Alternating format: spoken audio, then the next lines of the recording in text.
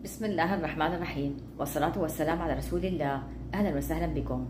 وصفة اليوم تبولة السبانخ مع سلطة السبانخ اشتركوا بالقناة like و share الفيديو. فعلوا الجرس عشان يوصلكم كل جديد.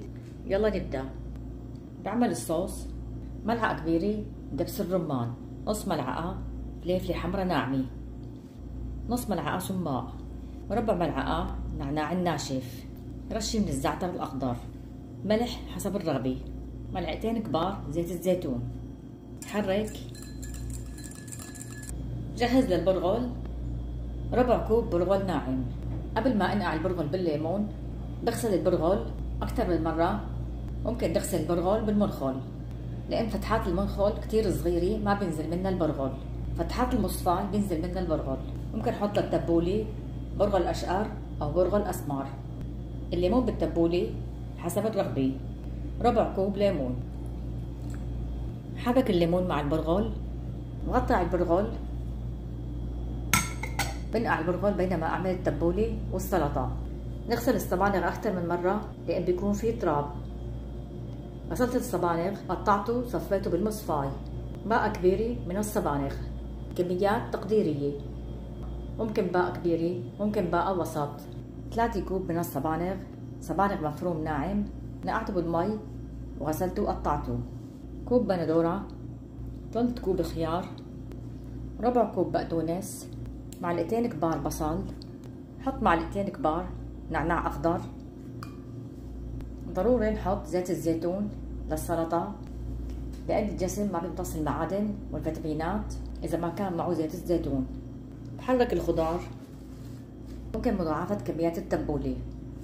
حط البرغل على الخضار. حط الصوص على السلطة. حرك التبولة. الأساسي بالتبولة هو الليمون. دبس الرمان اختياري. جربوها بالليمون بالخضار بتطلع كتير طيبة. حط على التبولة شوي من الرمان على الوجه. اختياري. اللي بحبها حامضة. حط صوص دبس الرمان.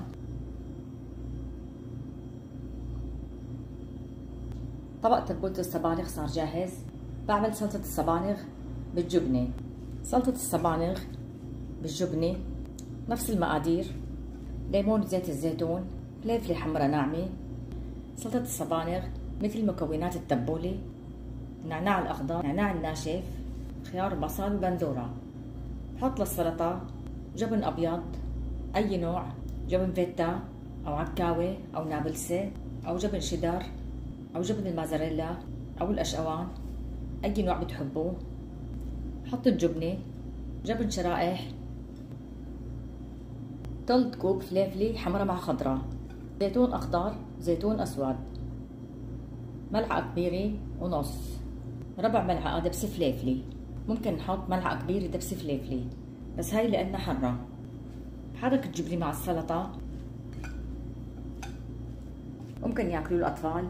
ما بياكلوا شيء بيشوفوا في ألوان. جزاكم الله خيرا.